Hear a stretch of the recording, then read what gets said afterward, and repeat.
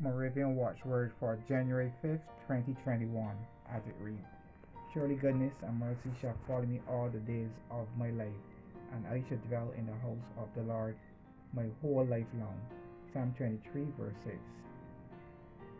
Joining hymn verse Goodness and mercy all my life shall surely follow me, and in God's house forevermore.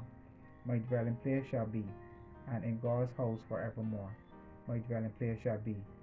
Doctrinal text Jesus said, I came that there may have life, and have it more abundantly. John 10 10. Adjoining hymn verse, You only are true life. To know you is to live the more abundant life that earth can never give. O risen Lord, we live in you. In us each day your life renew. Let us pray.